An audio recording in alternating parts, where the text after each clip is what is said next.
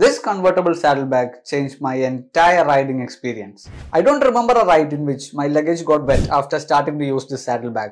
It's true that it's made of water resistant fabric. Also, they provide a rain cover with this which is cool. It has combined storage of 45 liters with these two main and these additional compartments. So, without an extra push, I could easily organize and carry my things easily. Also, it's very easy to mount it over any motorcycle and have a stable ride without any hassle. I could securely attach it and don't have to make sure it's safe back there again and again. And here's the best part, I can transform the saddlebag into a trekking backpack.